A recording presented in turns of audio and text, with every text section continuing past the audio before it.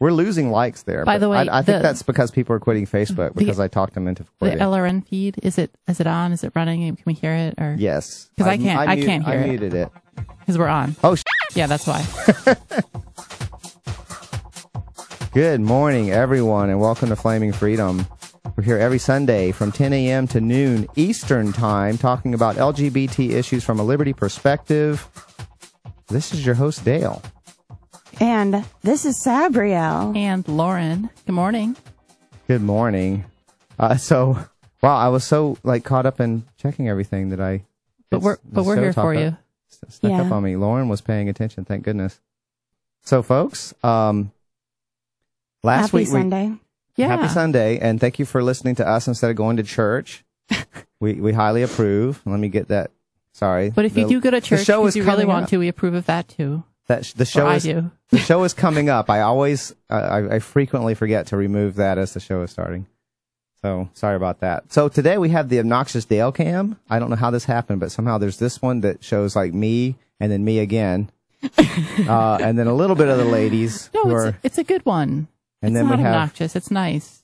And we have this view that I don't know why we haven't done this before, but this view shows everybody. Well, so if I forget to switch the cam, I can just leave it here for the whole show, and there will be no disaster. But if you're listening on LRN or listening on the podcast, you can't see us. So Right. you can tune in at uh, flamingfreedom.com. It's in the left hand side of the page.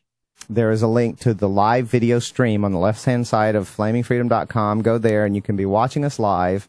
And if you aren't, if you want to watch us, but you're, you weren't fortunate enough to be paying attention during the live show, we are also on YouTube with usually within a day or two of the live show we post on YouTube. So there's that as well. You can check it out. Yeah, this is the first time I've been on the show s- since lots of very gay things happened to me. I got oh, I thought oh, you, yeah. okay. I Yeah, got gay that's right. married. I got gay married and I, uh, according to a certain porcupine realtor, I'm now a real lesbian, not because of the gay marriage, but because of the mohawk. oh, okay. It's a pretty amazing haircut. He, that, he- that's a good point. he ran into me at PorcFest and saw the mohawk and he was like, you're a real lesbian now. I'm tweaking the volume, the levels. So those of you who think we didn't sound right, maybe we sound a little bit better now. I'm, I'm pretty sure I'm just as bi as I've always been, but it's okay. I like, I, I like looking a little dykey. yeah, it, it, it, it coincided with your wedding, I noticed. it, yeah, well, yeah. not the mohawk. You, you did like a side shave. I did no. What happened Oh. was I did the mohawk the day the day after the wedding. I cut all my hair off. Well, not all of it, just uh, the sides, and left some on the top for a mohawk because I wanted my long flowing tresses for my bridal hair. And then I that that was it. That was that was it. So I um I decided I wanted to see what my head looked like a while ago, but I, that I would wait until after the wedding. Oh, okay. Are you are you planning on keeping it that way or No. no? Just it I mean, just I a like it. fun thing to try out It's for a, a while. fun thing to try out. Yeah. All right. All right. Well, you're officially lesbian. We'll give you the stamp of approval, even if you decide not to keep that short haircut. When I first saw Short, it, I was dykey like, I should get one. That is such a good haircut. It, Thank you. it looked really good. Thank you. You, you are able to pull it off. I'm not sure everybody could. It's funny because it's made me more like if I mean if as long as we're talking about gender presentation, it's made me more femme in a way because now I have to actually style my hair in the morning mm-hmm. instead of just putting like putting a ponytail holder in or whatever, which is what I've been doing for years. I have to gel it or I have to get it wet so that the gel wakes up.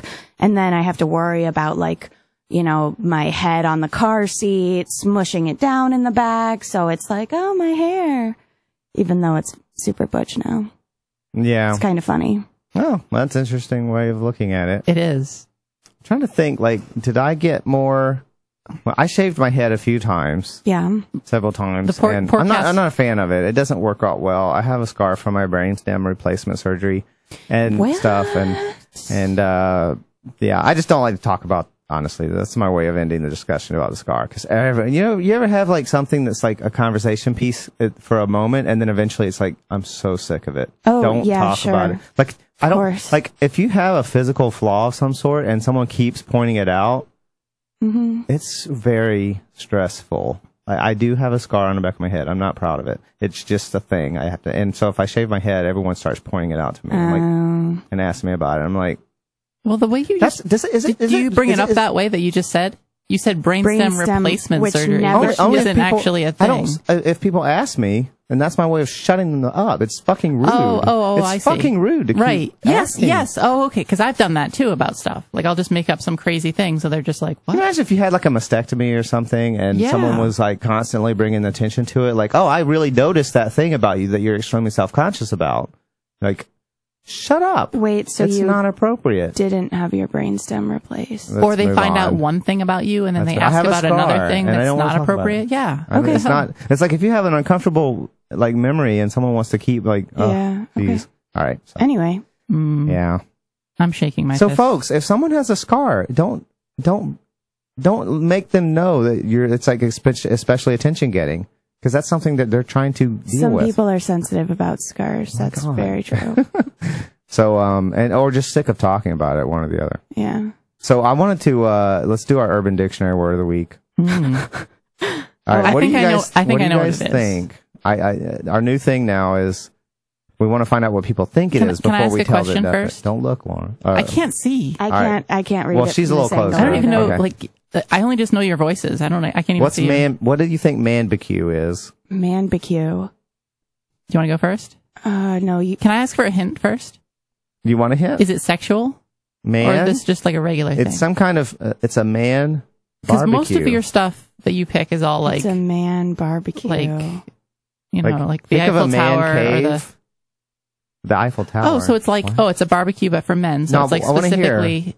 What do you think? My what you said? Most of my stuff is what? It's kind of it's like it's sex related, isn't it? I feel like Oh. the stuff you bring. That's because pick- of the show. Yeah. That's no, I know, show. I know. That's why. So I'm like, I'm trying to think: is this is this really? it's- I a was- I- She's sexual I- thing? She's using Here's a- context clues. Here's a Yeah. hint. The It's not context is particularly sex freedom. it's not related okay. this time. Man barbecue. Okay. Well, it could be if you're So into men. The hint right? is man barbecue. And man cave. Think of a man cave. What that? What that is all about? Man cave is where men go. Okay, so is a. I don't. You guess first, Lauren. it's a barbecue with meat only. That's very good. That's actually in the definition. Is it it's part of it. Did I get it? Pretty close. It's Oh. a more manly version of a bar. It's like an excessively manly version of a barbecue. No So- vegetables. no. So oh, Lots of- sausage only. Lots of beer and meat. Sausage is fine. Uh, it doesn't mention sausage. I'm sure that would sound gay. Like if you said it's a sausage fest.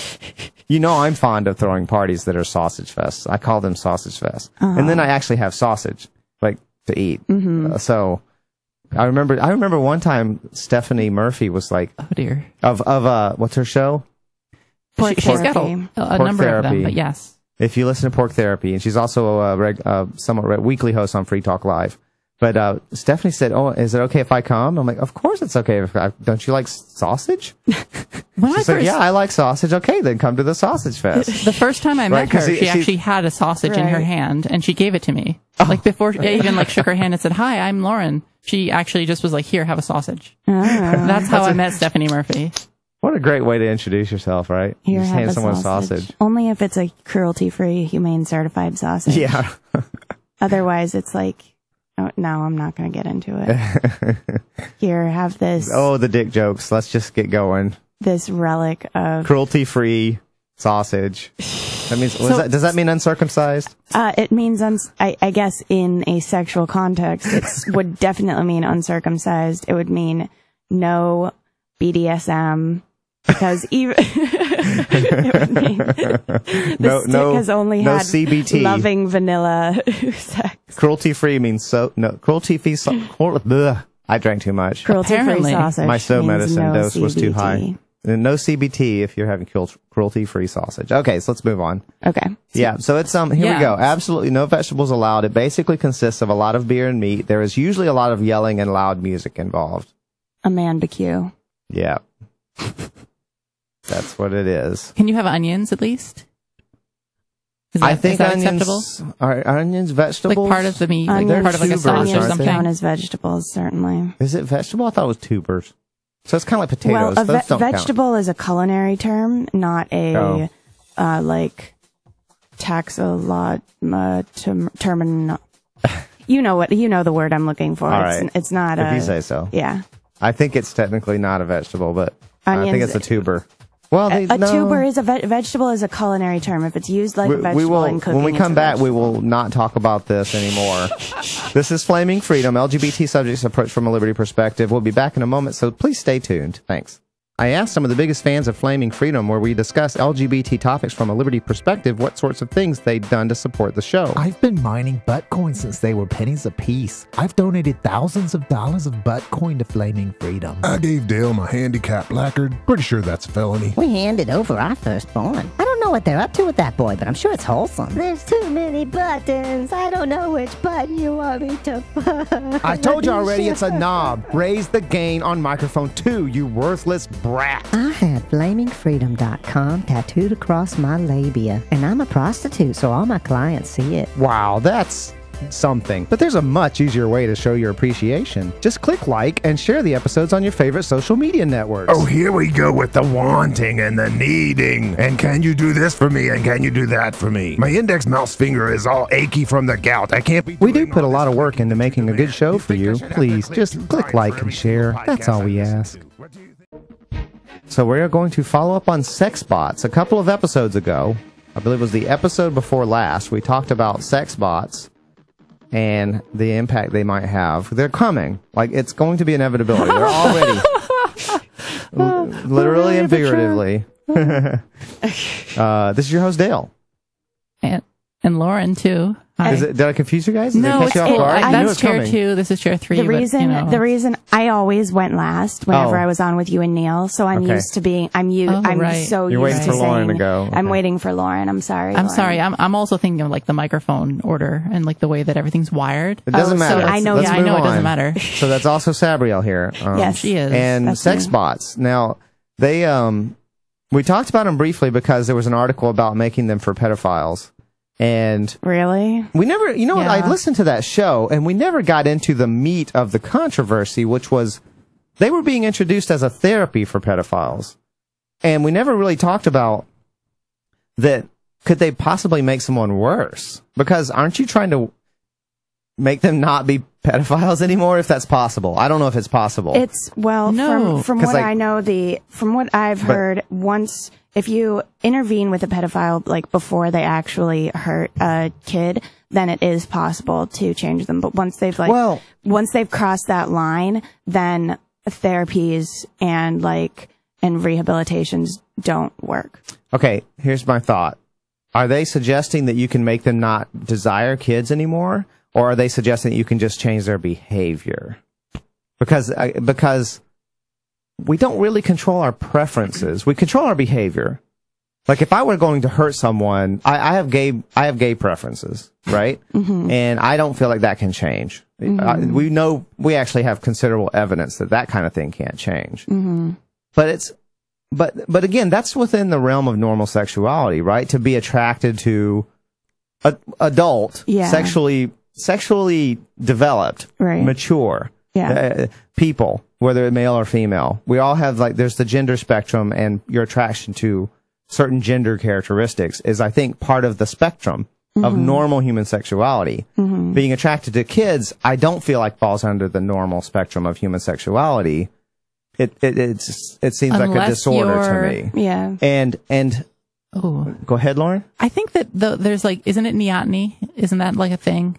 And I feel like for a Yeah, lot there's of that. There's that, Right? but, Isn't like, that part of maybe because there's like a Girl Writes What, for instance, talks about how how women exhibit a greater degree of neoteny than men, but the and, and the human race actually has become has exhibited more neoteny overall over a period of time, and that's basically a lack of significant differentiation between adults and children in a species. It's significant enough for most people.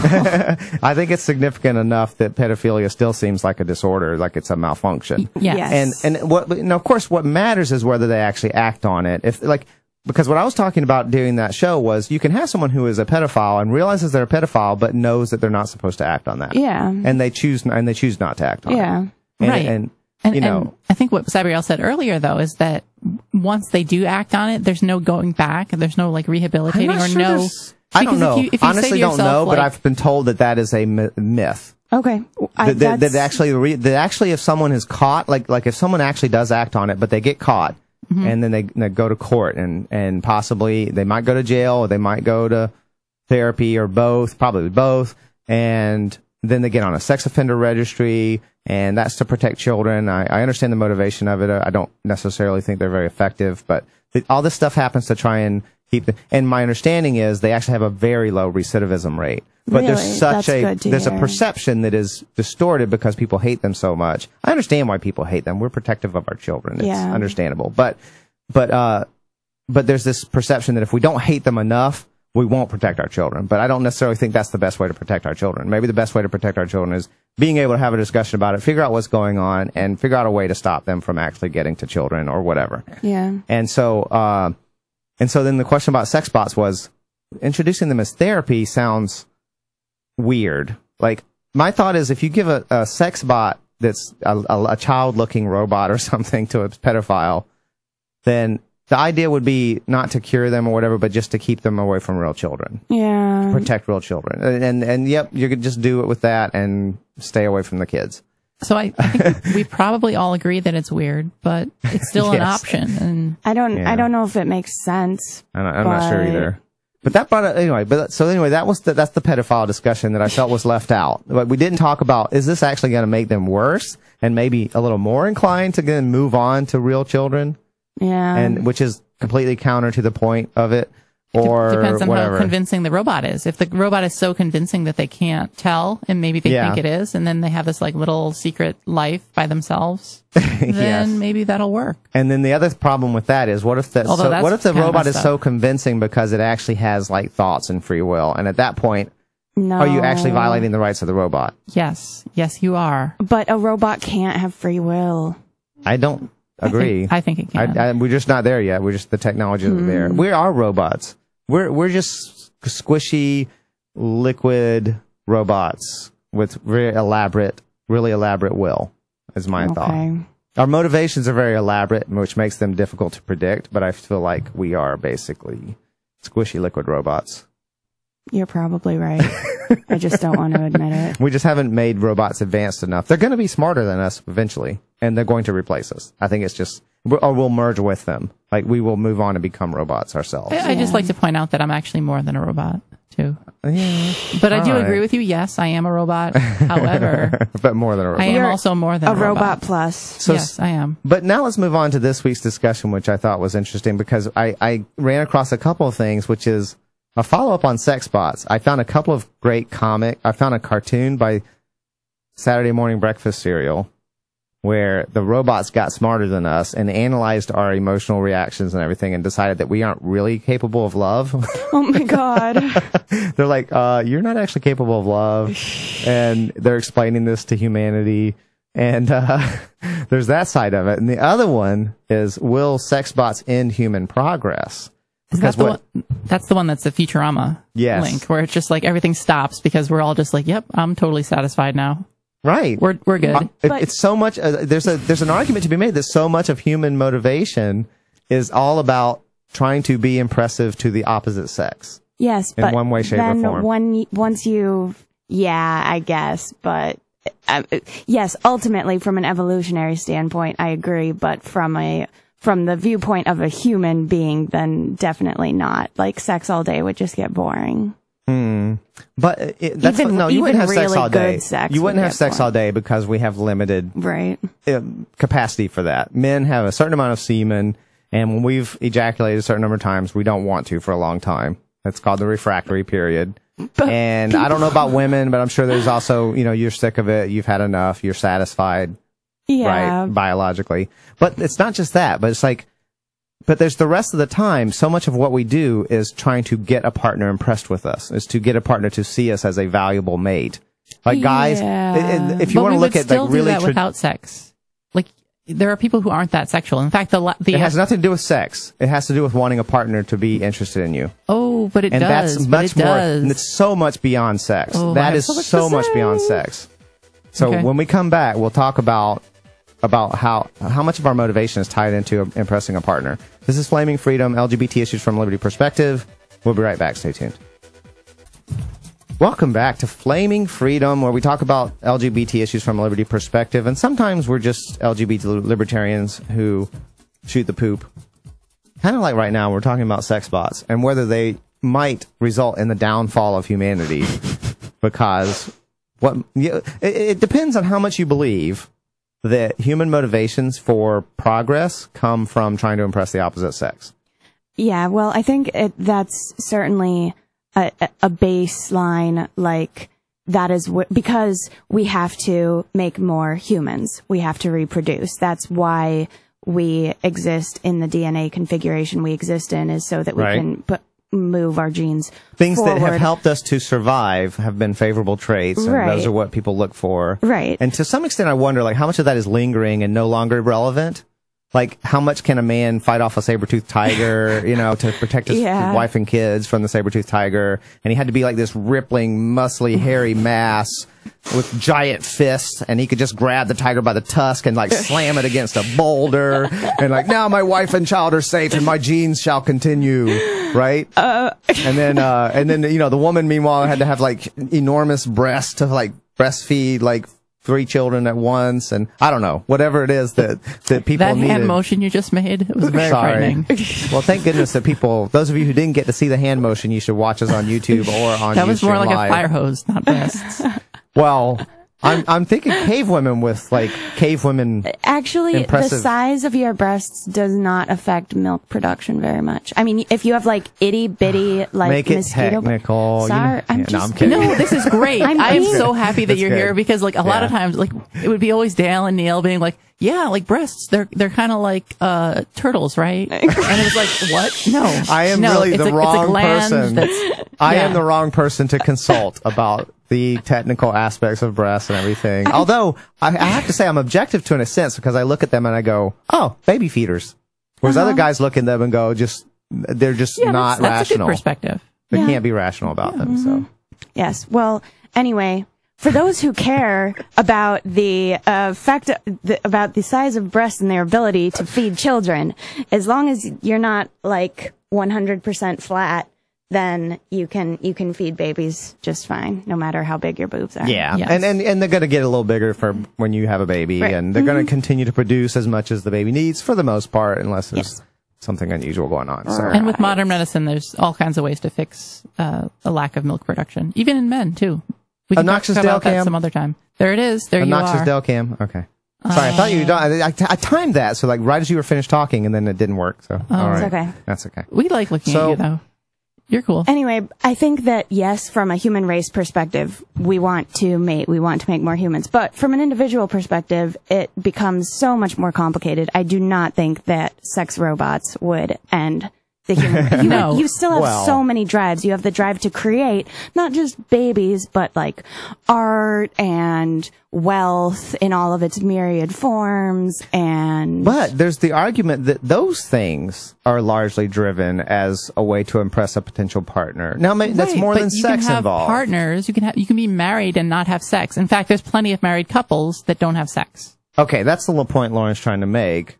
And so even if you have a sex bot and the sex bot satisfies you sexually, then you're saying, well, we still want a mate, though. We still want a partner right, uh, who is meaningful to us in ways beyond the sex. or even if you're an asexual person, you still So want to have means- a partner. You want to have friends who like you for who you are. so then the, so then the guys are still going to go to college and try to become good providers and all that in order to attract a partner as opposed to just a sex partner. Or, and some people, I mean, yes, but I'm, what I'm saying is that people still want to be, even somebody who is getting like all of their emotional needs met by a partner might still want, or, or physical needs. I can still imagine somebody who still wants to be like, say, rich and famous, for example. A sex bot is not going to make you rich and famous. You're not going to have millions of crowds screaming your name. You're not going to have power over others. So those are still drives that human and you don't think have. that that is largely to impress someone of the opposite I gender? think on an evolutionary scale, yes, but on Okay. a personal scale, no. I think Uh-huh. that those drives exist independently. Okay, those are our opinions. I, Those are I'm my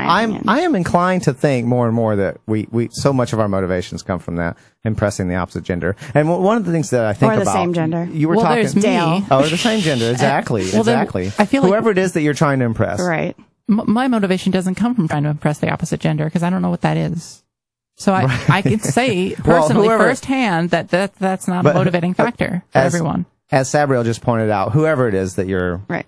interested in appealing, being appealing to, Hmm. you're trying to be this kind of person that other people are impressed by, or you know, there's that social pressure to be whatever beyond what you would just be by your personal motivations. What made me think of this to some extent was there was a recent SLA, uh, Sex, Lies, and Anarchy, by the way, for those of you uh, who are wondering what SLA means.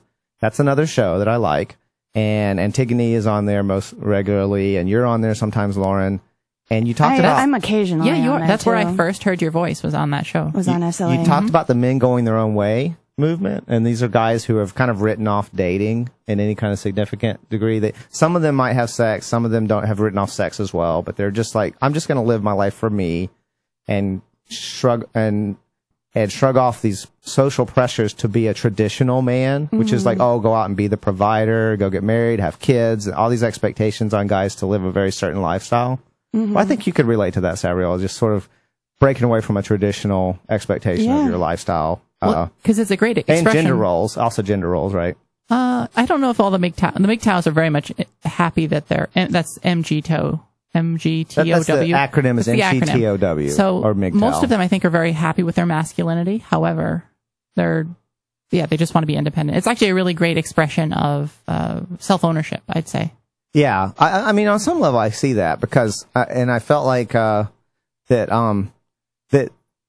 I, I, sometimes I felt like Antigone kind of missed what they're really all about. Is that sort of acknowledging that it doesn't that lately that stuff doesn't pay off a lot of times because of the state's involvement and courts and and child custody issues and alimony and all that stuff. So they've written it off for those reasons, and that mm-hmm. they might, you know, if if not for that, they might be, they might not otherwise do that. Yes, that's a good point. And she's like calling them, oh, they're just shallow and me- and not interested in meaningful well, they're relationships. they're they're hurt by the, the the weird constructs of the society. It's right, but yeah, that makes it's me not wonder. their But here's the own thing: a fault. lot of them have said, like, uh, you know, now that I don't have, now that I've decided to reject these social pressures, I'm not all that interested in getting a, a power job and making a lot of money and trying to. I'm not out to impress people. I want to make enough money to do the things I enjoy doing. I want to play video games and I want to hang out with my friends and go see sports. I and want to be things like happy. Yeah, I want to be happy, Yeah. and that doesn't necessarily mean busting my ass in the rat race, Yeah. right? Right. So, um, so that's what it, it- looking at that movement and how it's growing, and and seeing the sort of social ramifications of it makes me wonder how much of of the rat race is just trying to impress people, like trying to impress the opposite sex or, or or the same sex or whatever, Right. or both. Yes, both. Thank oh yeah, uh, that works too. Sabbrielle. Thank you. So I don't know. Maybe maybe sex bots will do, will chisel away at it, but like Lauren said, there's more to relationships obviously than sex. So. Maybe someone will donate, and then we can get our own sex bot and see if we like to And we still can- do the show. Test the our way- hypotheses. I'm I'm kind of becoming a gay MGTOW. M- MGTOW. A, Yeah, I, a I gay think not not for the GM Mento. gay MGTOW. I'm not sure GMT. I'm not sure that uh, it's at all related though. It's not for the same reasons because I don't feel like gay people are penalized in any way by the system uh, because marriage is still not really expected of us and all that stuff.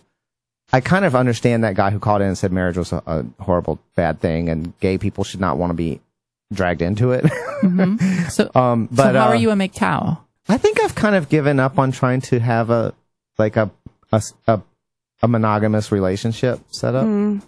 Right? There's still pressure on gay people. Like that's what you're. That everyone. The is- relationship there's- escalator. there's the- Everybody's uh, expected to get on the relationship escalator. Yeah. And you're expected to find this one person who's more meaningful than anyone else and share your life and Who live with them. completes you? Yeah, I'm not sure I'm buying into that anymore, and it's such a relief. Flaming Freedom will be back in a moment. Stay tuned. Good morning, folks. You are listening to Flaming Freedom, where LGBT libertarians shoot the poop, talk about sex bots, pedophiles, things like that, and whatever it, Just whatever your, makes just you your most un- regular stuff on a Sunday morning. You know, Right. pedophile, sex bots. whatever makes you most uncomfortable, Oh, we will find that subject and Uh-huh. talk about it. So, Do you see what I just what I just did? I reversed it. I was I said pedophile sex bots. Pedophile. That would be weird. That, That- would be that would so be- bad. That we do not need. That would be like the most Nazi invention. Like just robots that would go out and rape children. Like that would be their whole purpose.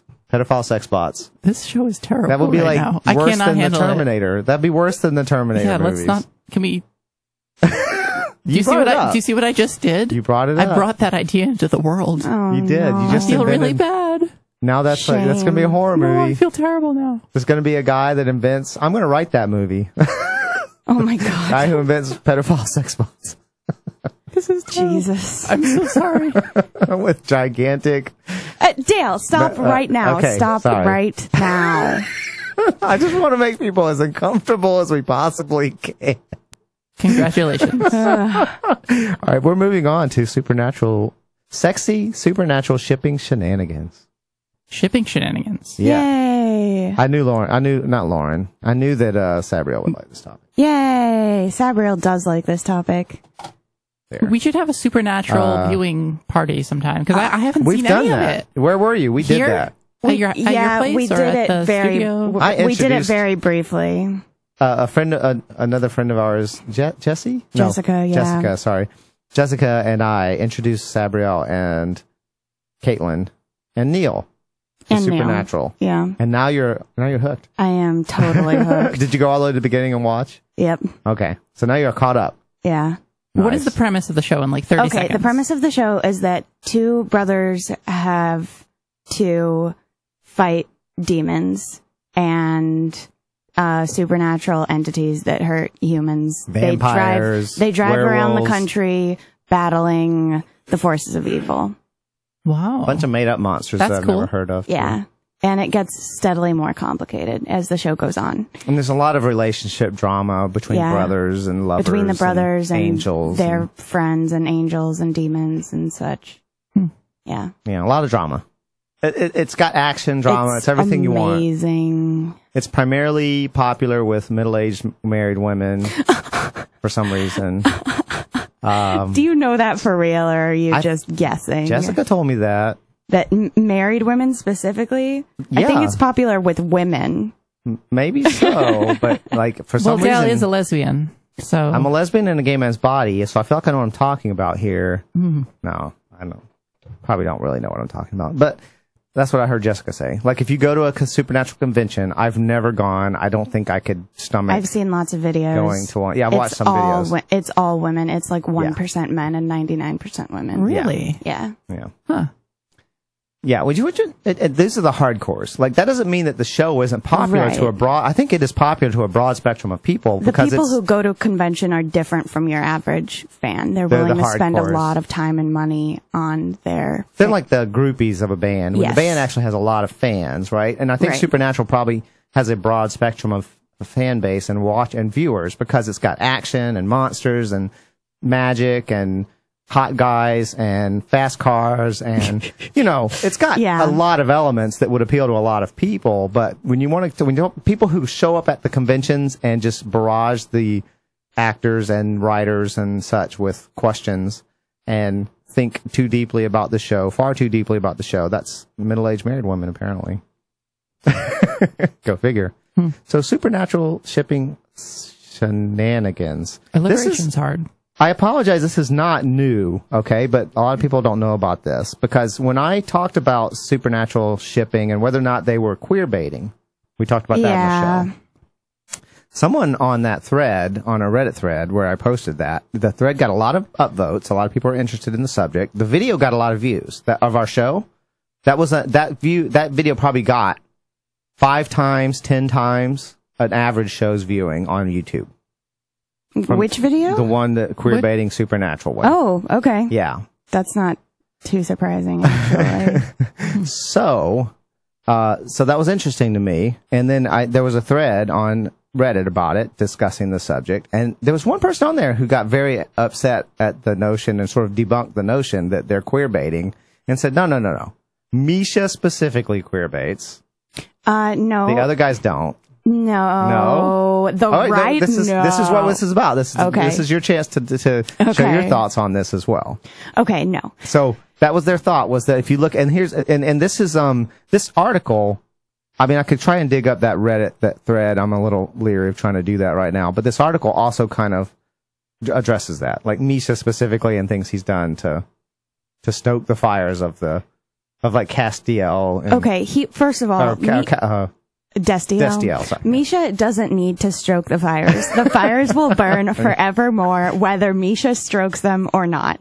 Misha is a delightful man and is very LGBT friendly. He's just like a plain Yep. good person. So I think I agree. to accuse him of queer baiting is assigning um, malicious intent where there simply cannot be malicious intent.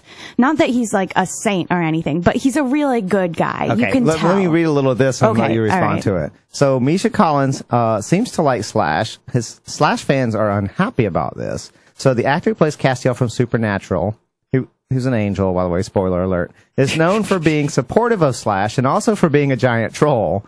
Misha shook up the Supernatural fandom late October. By the way, this article's from 2012, just so you know, November. And in late October, when he told a small group of fans at Supernatural Convention in Chicago that he thought Dean and Castiel were in love, an opinion he apparently formed without discussing it with anyone on set.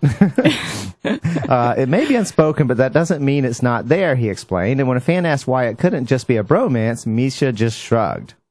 Of course, Dean Cast fans were Dean slash Cast fans were delighted that Misha had apparently joined their ranks, and some went so far as to say that Misha's statement made Dean slash can- Cast canon. And for people who might not understand that term, that means that the writers are in on it, that they're mm-hmm. playing. You know, that's intentional, as opposed to fans interpreting it that way. But did it start that way? The- I, I'm not a, a, a viewer of this program, this so is I the don't really. controversy that we're So discussing. we don't. I don't so know. we don't. N- so the no. premise is. It's huge controversy. so The you say no. Do you say yes? I to? say I think probably not. No, the writers are in. Okay, so no, it just started out because they needed a character to bring Dean out of hell and to get the brothers into this whole. Oh God, uh, so many spoilers for Lauren now that you're planning on watching the show. But this is old Yeah, news. I for usually don't like to else. give I- I can- spoilers, I but can this has been it. Out for a while, it. so I'm not gonna. has- I'm not gonna apologize for this. If you're not watching the show, that's your fault. Oh, right. So they just needed somebody to tie the brothers into the hell versus heaven showdown. So that was Castiel, but obviously there be, there became quite a lot of like tension and chemistry of, you know, uh, whether it's a bromance chemistry or something else. There's a lot of chemistry between uh, the between Dean and Cass. So the fans started saying it started, you know, shipping them together. And then the writers were like, oh, okay, sure. And started with the queer baiting. Now, Misha, I don't think, I think that Misha sees the potential and he is, I mean, he's an actor. He sees all of the possibilities because that's part of what you have to do to be an actor. is You have to be able to take it anywhere. You are Yeah. beholden to the writers. So if the writers are going to queer bait and then pull back and be like, oh no, of course Dean is 100% heterosexual, then Misha still has to be on the show and still has to be there. So By the way, what? oh, you just inspired me. There's been a lot of there's a lot of gay jokes because the brothers, they're brothers. Yeah, it was, that's what I was going to ask. but they hang like, out together all the time. brothers. They rent hotel rooms together and things like that. So it's not shocking. I, I like that the writers incorporated that people assume they're gay sometimes, that they're not. Bro- they don't know they're brothers. They think they're a gay couple, Yeah, and then That it makes Dean very uncomfortable. it does make Dean very uncomfortable. Well, understandably. that was also a, a lot of the, a lot of and gay the, stuff in general makes Dean uncomfortable. But he's not like a he's not a bigot. Like he he doesn't he knows that he's not supposed to feel uncomfortable, right? Yeah. Like in his head, he's like, oh, I'm not supposed to be that way, but it's making me uncomfortable. right. Yes. Uh, and, uh, And so, that makes me, the, the, but the, but usually when someone's really uncomfortable about something, I'm like, that's an insecurity of some sort that is one of the things that fans point to. that on the might show, mean yeah. you're a little bit turned on and you don't like that you're a little bit turned on. Not by his brother, I'm sorry, but just by the gay subject. Right, by the gay Right. subject, right.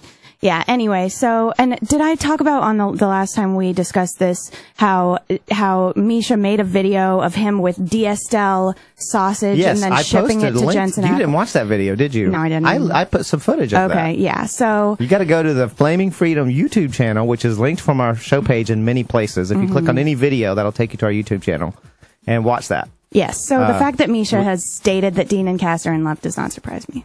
Ah. All right, we'll talk some more about it when we come back. The second hour is Flaming Freedom is coming up. Please stay tuned. Welcome back, folks. We are in the second hour of the show. There's, by the way, you can call in. I we don't it's not much of a call-in show. It is technically a call-in show. If you have thoughts you want to share, we highly encourage you to do so. You can Skype us at In Your Head Shows. Log into Skype, Skype the account In Your Head Shows, all one word, and we'll hear what you have to say. You can change the subject too. You don't have to talk about what we're talking about. Uh, yeah, we're we're very happy to be a call-in show, but it's, Yeah. it's not the main focus of us. Right Uh, well, now. just yeah, exactly. Yeah. It's it's it's totally. It, the option is always there for you. Mm-hmm. That's that's all I want to say. that's nice. So I, I found the thread on Reddit, so we'll talk about that a little bit. But uh, we do, in the interest of being concise, I will get on. Here's a little bit of what Misha said. He was being interviewed about the whole shipping thing, and the interviewer said, "You joke about this a great deal." He goes, "I don't joke, but go on." And the interviewer oh, says, Oh yes, Misha never jokes Wait, about is, anything. is Misha the writer No, or the director? Misha plays Misha plays Cass or Castiel. He plays one of the characters that people see as being possibly gay. well, first of all, these two characters have like pretty pretty femme names, and they're both Okay. men. Dean? Cass and Dean. Dean, Cass and Dean. Is, Dean is not femme Well, Dean, at all. or Dean is kind of gay. I get a gay Uh, vibe from Dean. Maybe for being hyper masculine. yeah, That's a hyper-masculine Right. So they like they have the Sam has accused Dean of being a little butch. Trying too hard. Yeah. I think was the word. Yeah. Yeah. Was the expression. Interviewer asked him, uh, you joked about this yesterday at the panel, including saying that this season will be the season where Dean figures out that he's a bottom. With his brother. This No, is, no, Again, this is two years Oh. ago. Not with his brother. Oh, I feel like we're going to be. Do we need to spend a little time setting you up so that we? Because I feel like we're confusing you a great deal by We just need- moving no, I, forward. I think I represent like the listeners you do who, kind who of are kind of just like, you oh, I really haven't do. seen this yet. These are, but this that's a good point. Like we know people are really lost maybe because we're talking about this and they don't know. Dean is one no, of the main it, it characters. makes sense. We're I just, I just people- wish I had- had the background. That's Oh, all. You're right, though. Dean and Dean- Sam are the brothers. They're the main characters in the show. They were the they were the focus of slashers slash shippers in seasons one through three. Yes. Then Cass came on. Despite being brothers. Yes. Then because they are both beautiful, it is a big part of it, and also they had no personal lives whatsoever and spent all their time together. Yeah. So then, season four, Castiel, the angel, rescues Dean from hell. It's a very romantic beginning for a relationship. And from then on, uh, people who are uncomfortable with incest, but still Yeah. like Slash, had a, had a pairing to ship in Dean and Castiel. So Dean, the main character, one of the main characters, and Castiel. Did that help at all? Lauren is laughing. Yes, it did. And no, it makes Castiel's an angel. sense now. Okay. Castiel's an angel who's like inhabiting a human Angel of body. the Lord with a very Okay. deep I'm gonna have dreams about So this here's now. Misha, the play, guy who plays the angel, Tell and he's all the one who dreams. eggs people on. They say. So, uh, so he said that, and then he said something about Dean figuring out he's a bottom, and then, and Misha said, "Yeah, sort of." And the interviewer said, "Sort of." He says, "Well, what I Ted said technically was we learned definitively that Dean is a bottom in purgatory, but yeah, See, here's the thing. Misha jokes a lot. He is not a serious person. Yes. His Twitter is hilarious. you should be subscribed to his Twitter. If not, you are you don't know what you're missing." yeah. Uh, so um, then it goes on. Then the interviewer says, "Thanks for being specific for me." And Misha says, "I mean, not to correct you, but you were wrong." And the interviewer says, "It seems like any, especially in sci-fi, any show that has strong male characters in that relationship, going back to Kirk and Spock." Misha says, "Starting with Kirk and Spock, right? There always seem to be some."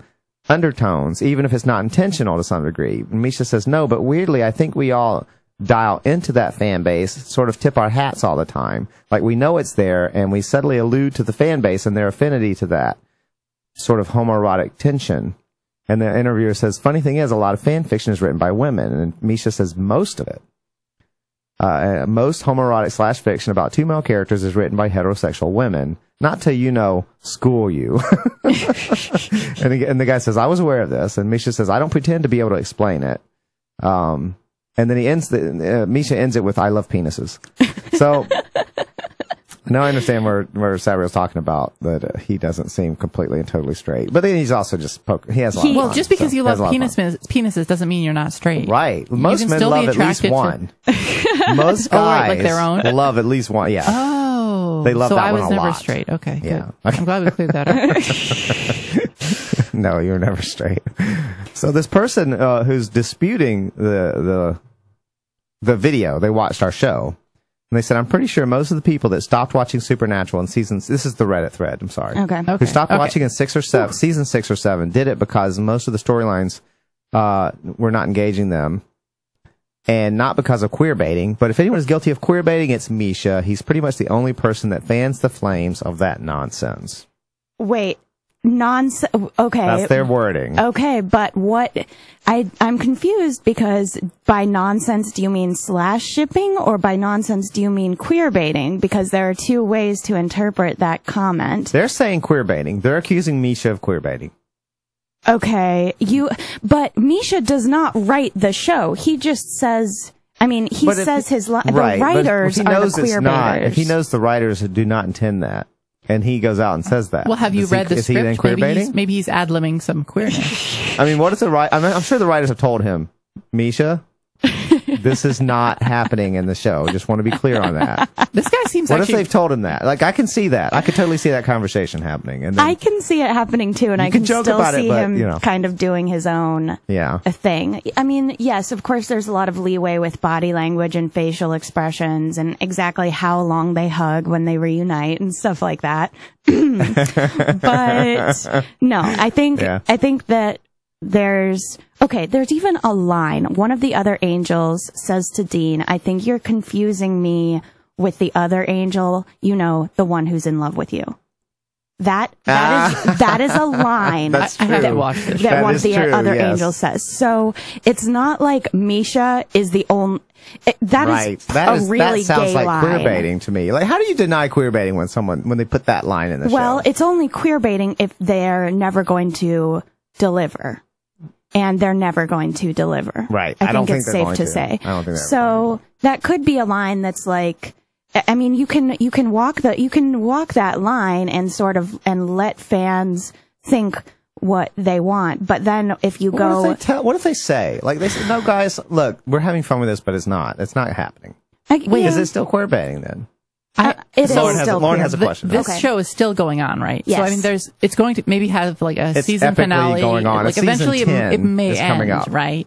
Yes, Maybe, but And season so- ten is coming up. So like they'll have some like last episode where they say the network isn't going to support us anymore. We're off the air. Let's just do it. that would be Like, right? That would Wouldn't be it be pretty awesome. awesome? But so I that still could happen. I, It there's still hope. it there's It might always not just be back, back off a little. Oh, sorry. my- It's okay. There's, There's a little bit of putt. There is always hope, but I think that Jensen and Jared, who are the actors who play the brothers, especially Jensen, has made comments that he doesn't like the slash stuff. And it's like, Jensen, just shut your pretty mouth. Okay. Mm. Yeah, yeah. We don't care if you like it or not. Like you, we are the well, here's, customers. here's someone who I think you can relate to who responds to this person in the thread. Calling it nonsense, nonsense is part of the overall problem I have with the fandom in general and this, and the supernatural thread in Reddit in particular. Misha is absolutely lovely to his fan base and smart enough not to alienate a good chunk of the show's fans. Yeah. Jensen is the one who hasn't quite figured out diplomacy with shipping. Yes, that's very true. Yeah. I- for some, yeah. I think that some people that some actors, not not just on Supernatural, but in general, they see they see alternate interpretations as threats, and that's one of the reasons that authors and create and creators of media um, that some of them don't like fan fiction or fan art at all because they think no, this is mine. If you are Mm. writing, if you're playing in my world, then you're. It's like it's. Uh, it's like an assault. It's kind of like a, way. copyright infringement of, of sorts. Yeah, almost. It Or feels this is my creative exactly. baby. It feels icky to them if you're not playing. You're you're like a pedophile sex bot raping my baby. right? That's what it is. You're a pedophile sex bot raping my baby. I'm so sorry that I ever brought that up. it does make it does make That's going to be the name of this YouTube j- sh- movie Yeah. show, uh, The- video now. You're a pedophile sex bot raping my baby.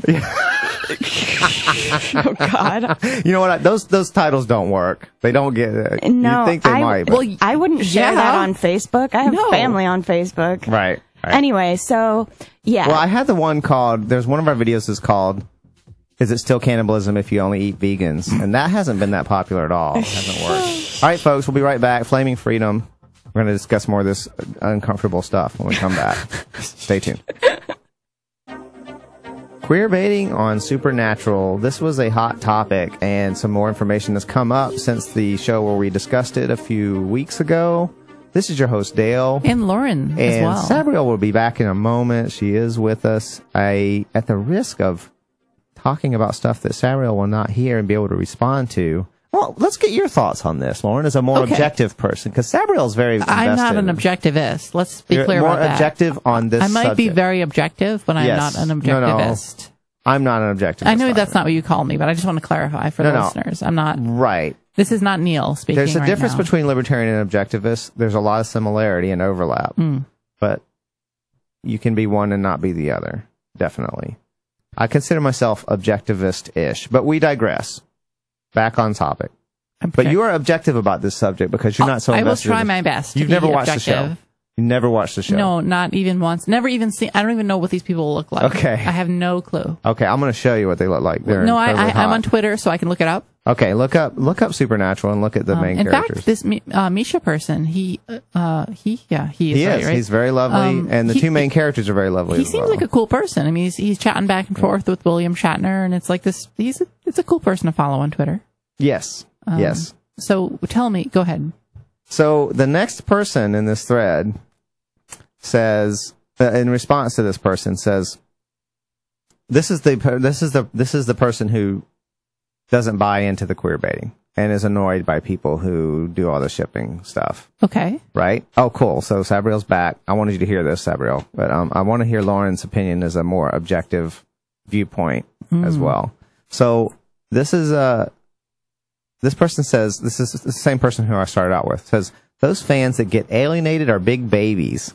so he's talking about you, he or she. I'm I'm saying she because it's supernatural. So um, how dare Jensen say Dean isn't in love with Cass? It's not like he would know anything about how he's playing his character for the last nine years. Oh, this show's been on for a while. Yeah. It's on tenth Wow. season is coming It's about up. to start the 10th season. It's super uh, I should successful. totally quit my job and just watch shows. yeah.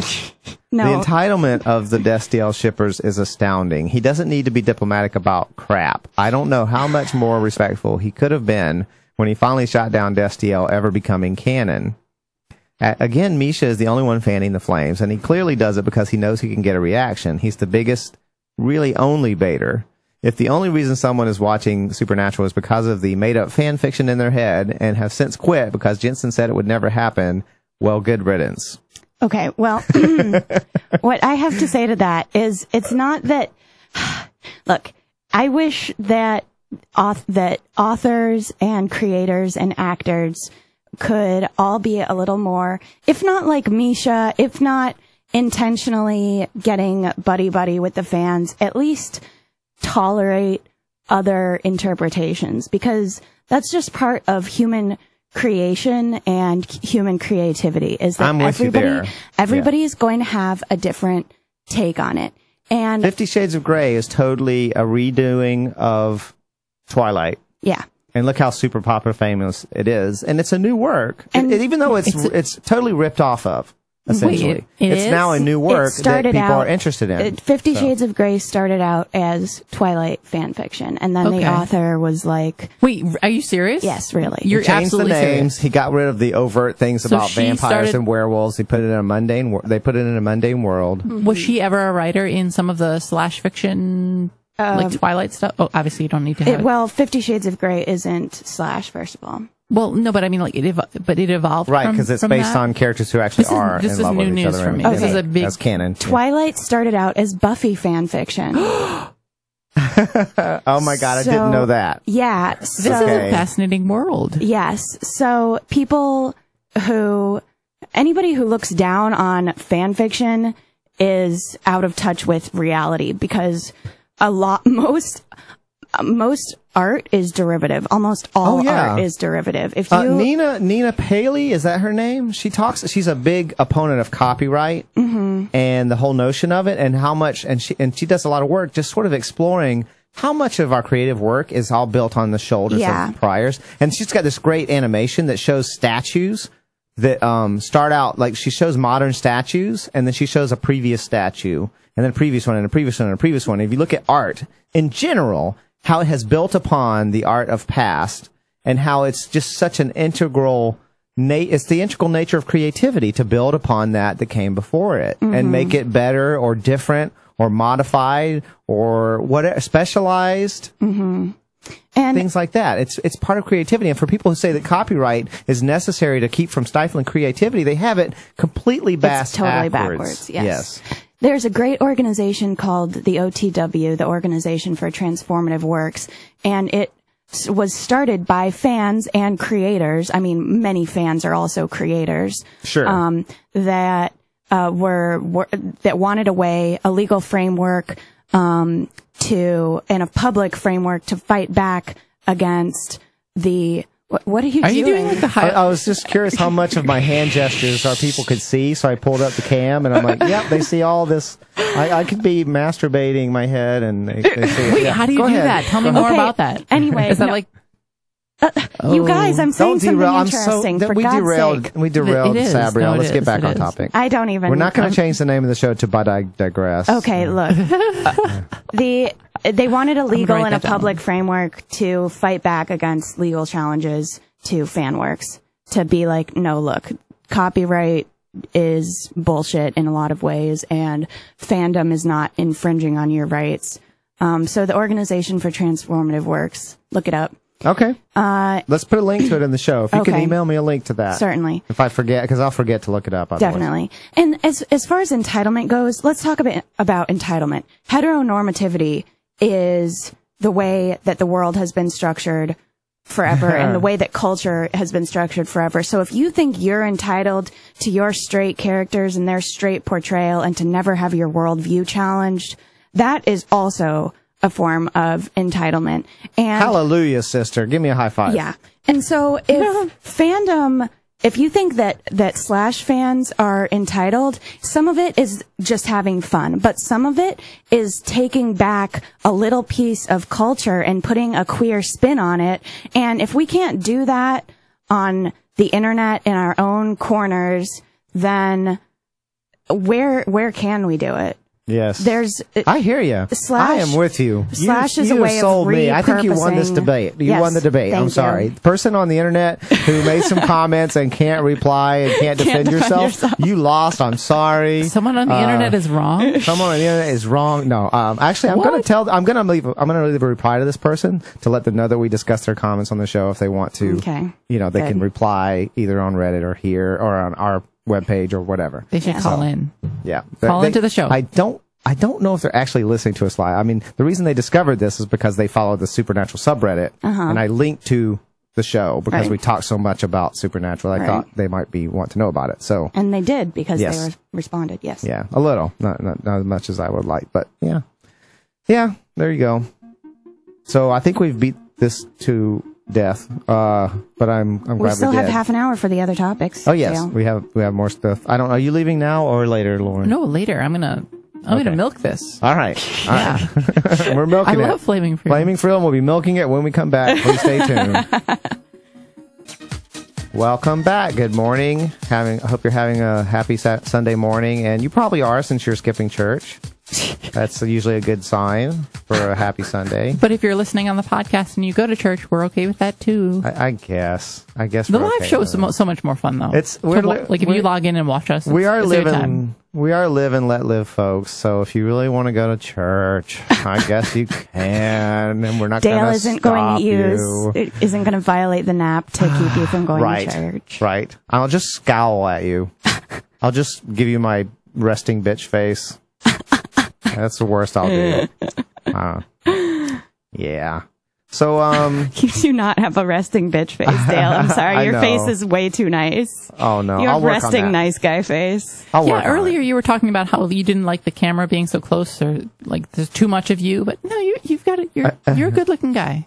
Some days, and then other days, I look 15 years older. I look 20 pounds heavier. I look at myself in the cam, and I'm like, when I'm naked and looking in the mirror, I don't look that fat. But this thing, they say the camera adds 20 pounds It, or something. it totally does. Yeah, Guys, no, I'm really I- not the, as fat as I look on the If cam. you've ever I- seen the stage, I also know. adds 20 pounds. If you ever watch somebody on stage and then meet them Oh, yeah. afterwards, it's like, wow, you're really skinny. Huh? Yeah. Costumes. I don't know. I, Yeah. don't know I just know that like I've now Lauren is trying to pay me a compliment. It's made me self conscious. look how look how I am. I've got so many issues. So uh, let's move on from Dale's issues.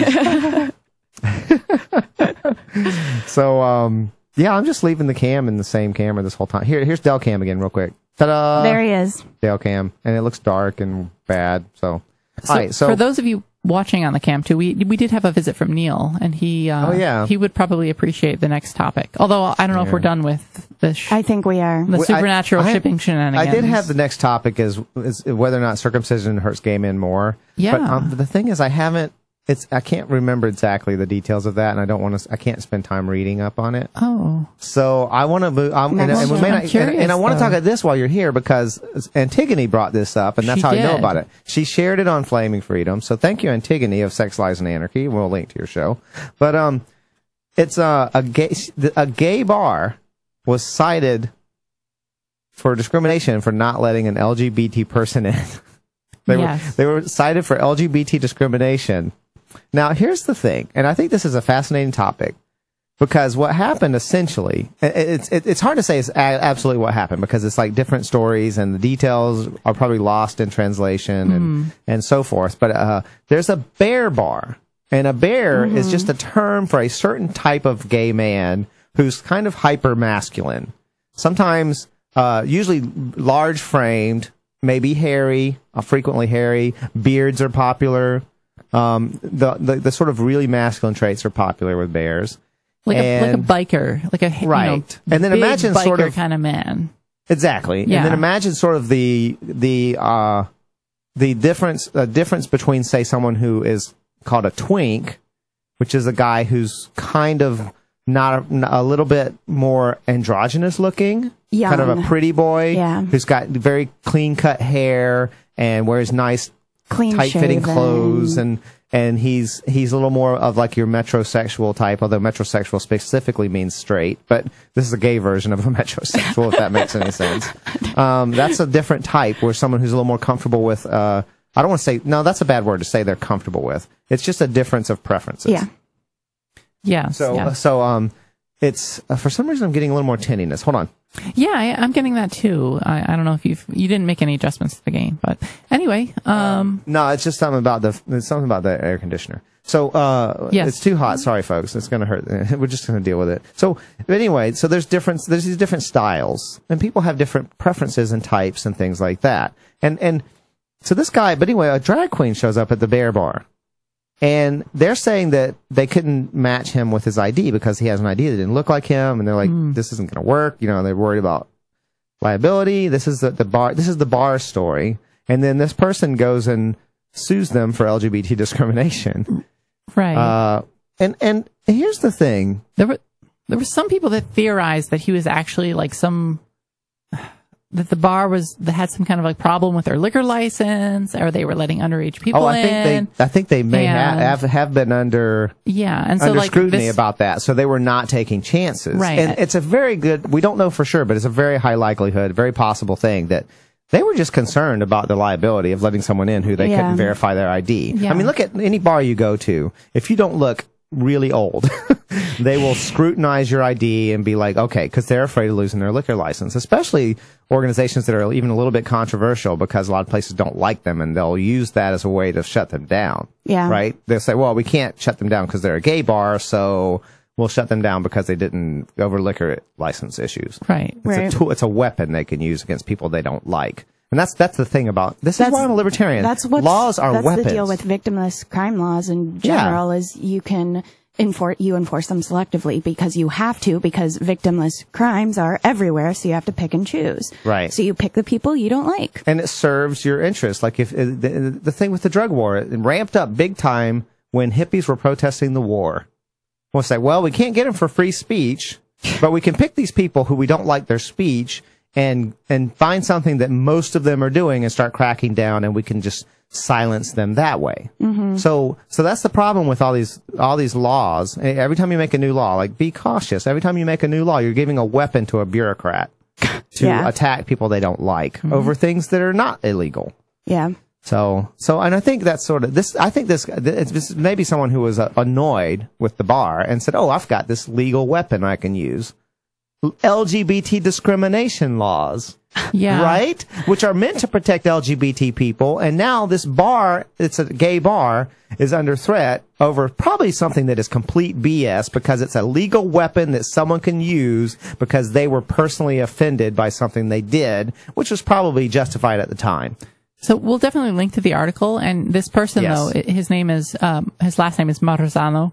Um, he claims to not be transgender or anything No, like no, that. You know, just it's not in drag not- for a costume right. party or It something might have just like been that. something Yeah. like that. But at the same time, like I really want to know what his background is. Who like I does do- he have a history of drag uh, stuff, like I- I- performing in drag? My or- impression I is mean, no. That my impression so- is this person doesn't even do drag usually. This was an unusual occasion. Right. I, I almost Yeah. feel like this is some kind of like if maybe he's an informant or something. Like I, I really want to Hmm. do some research and find out who this person is because I feel like there's some kind of like greater thing going on You, that's ha- you not have in an the actual instinct recent that article. there's something going on. You know, Yeah. my gut, I, I'm just, I, I want to be honest. I'm just speaking from my gut with ignorance because I don't know. But my, I've seen this, I've seen pettiness between people.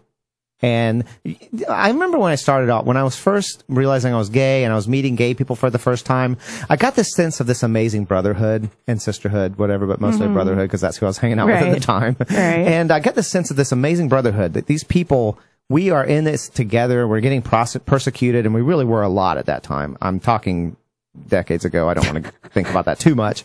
Uh, we really were. And so we felt this kind of brotherhood, like we had each other's backs, kind of. But then it wasn't long before I started seeing pettiness. And I thought, wow, there's still pettiness. There's That's still. kind of how it is. And yeah, yeah, everybody is. There's still are you people seeing- still are petty to other people because of some little personal difference. Petty within the LGBT community, Yeah. or yeah, Yes, okay. or anywhere. Well, yeah, Like and- that and- brotherhood is not really there, not that much. You know, Well, maybe- the point is we're all different, and We we, have we have normal human foibles. We're not. It's it's and and and part of this is what part of what I want to think about with this is that there is there's there's this bar which is sort of tailors to bears, It does. which is not And- my thing, by the way. Let me I'm also, not into that. can I add that they actually have a uh, dress code that forbids any kind of high heeled shoes, wigs, or just appearance altering, uh, altering. That wasn't a word.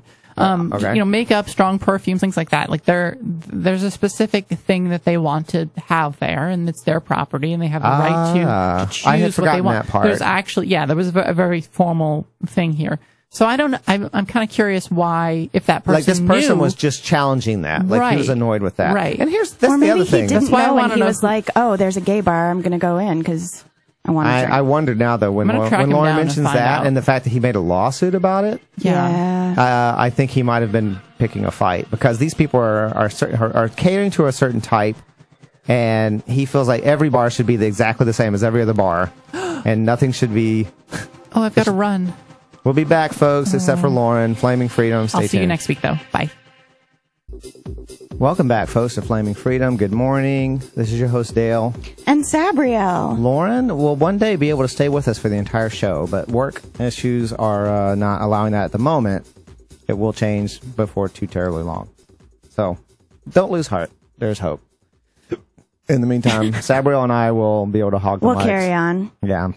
So um, here's a statement by someone that I think is interesting in this article on the reason.com. And I find this really maddening as somebody who has been fighting against the illogical slippery slope arguments that acknowledging and respecting transgender people will result in absurd outcomes, like men faking it in order to peep on women in the bathroom. It's a stupid, irrational fear. And now we have a man who is not transgender, nevertheless using the law to punish a business for not letting him in. And we have a state agency in Colorado declaring that a subculture within the gay community is inherently sexist for having a preference for masculinity. This case is a good demonstration as to why it's so important to hold a hard line on the right to freedom of association. Yeah. I'm with them on this. Totally agree. The Wrangler should have the, that's the name of the club, I assume. The Wrangler should have the right to pursue whatever customer demographic it wants for its bar. And if the community finds it significantly discriminatory, they can use social pressures to push for change. Like boycotts, for instance. And, and then this is, see, frequently the subjects of, the subject of discrimination comes up, and a lot of people will go, Dale, you're a gay man. Why would you not want discrimination laws protecting you? Yeah. Because one day they're gonna bite you in the ass. I mean, Yeah. it is again. It's it's a weapon that can be used by someone in a dis- in a discriminatory fashion. Uh, ironically enough, I mean, here's a case where this is a gay bar that caters to a partic- particular kind of clientele. And and why do we really want every place ever to be completely generic? No. Like, do we not want like gay people are not a monolithic, unified thing? Like I said, I I, I mentioned how I felt like we were this brotherhood, I mean, and and on a certain level we are. I think we have that sense of we're we're suffering the same kinds of persecution regardless of our types, but we are different people with different tastes and different interests. There are lots of gay men who are types that I'm not attracted to, and that they're probably not attracted to me either, or vice versa. And uh, and then we have different interests, like gay men who are like sports. I don't. Right? There's a there's a subreddit on on uh, Reddit called Gay Bros. Right? And it kind of is what you think it is. It's masculine types of gay people, gay men, and and that's what that's about. Now, that doesn't mean that they don't like drag queens or that they disapprove of people who di- have different interests than them. It doesn't mean that at all. It just means that that's what that particular subreddit is about. Gay Bros is going to get sued for having. what? Right. Next Gay Bros will be sued for Well, not. it's like it's like if you were going to a baseball game. Let's say let, let's say some gay guys go to a baseball game, and there's some other gay guys that want to watch show tunes, and like, hey, this stadium would be a great place for show tunes. Mm-hmm. We could do show tunes over there. We could put a screen up. I think it'd be like, you know what? I like show tunes too, but at the moment. I came to a baseball place to watch baseball. Uh-huh. Yeah. And this is a baseball stadium. Down the street is a theater, and we can go there, and we probably will tomorrow night to watch show tunes yeah. it it doesn't mean because we're here at a baseball stadium which is devoted to baseball that we don't also like show tunes and that we will go to a place devoted to play to to shows mm-hmm. and to plays and musicals and so forth when when we're in the mood for that like it doesn't mean that you disapprove of the other thing because you have a place de- devoted to a particular interest And really, even if you do disapprove, don't you have the right to freaking you disapprove? do you do Yeah. But but I, it, it bugs me that that's even the presumption that, that Yeah. they're somehow anti these other things just because that bar is not for that at that time. Yeah. They, might even decide to have a night for certain things or something like that, or they might not. It doesn't matter. As long, you can always do that. If someone tries to prevent you from doing the thing you want to do in the space that you make for that and are willing to pay for to make it happen, mm-hmm. then I would have an issue with it because because that's none of their business. Yep. But to say that this, but this bar that is a bear bar has to also be a drag queen bar. How can you please everybody all the time? You can't do that. Nope. You just can't do that. I like the fact that I can be in a baseball. Well, I'm not in a baseball mood. I have, I have a little. I enjoyed baseball a little bit at one time, but who knows? I love that I Once could upon in- a time, Dale enjoyed a baseball game. yeah. I love that I could be in a baseball mood and I can go to a baseball place. I can be in a movie mood and I can go to a movie place. I can be in a drag mood and go watch drag show. I don't like that very often, but I have enjoyed it on occasion. Uh-huh. A rare occasion for me. I like that I can go to a certain place that's for a certain thing and enjoy what I want. And I don't want every place to be the same. Yeah. That would that would destroy choices. Freedom should be about choices. Yeah. And this is really destroying choice by trying to say that every gay bar has to be exactly the same and has to let it, everything happen there and cater to everyone who wants whatever they want. You just can't please everybody all the time. Nope. Yeah. So that that's my beef with this. And and there we go. Circumcision. it's too bad Neil's not here for this. Uh, or maybe it's good that he isn't because he actually gets so upset about this sometimes it's almost like a PTSD response. Yeah. Like he he he, he gets up he gets he's an he's an intactivist. right. He's a big activist for intact for not mutilating the genitals of boys. Mm-hmm. And I I am I am as well. Uh, he's probably more so than I am, although over time I've gotten more I've gotten more like Neil, if anything. Like I've gotten to the point now where when I see a circumcised penis, I, I go, ugh. Oh dear. Like I just feel bad for the person immediately. And I'm like, uh, it's not as attractive to me. It's less attractive over time as I've gotten to appreciate appreciate intact penises more.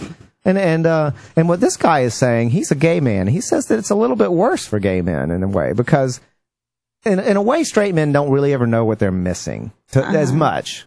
Right? Because they're only been with women right. and like their penis is kind of the only one they ever known, they've Yeah. ever known, and they ever will know. Whereas a gay man, you know, very likely is going to interact with a Date a few people. non-circumcised penis. Right. Right.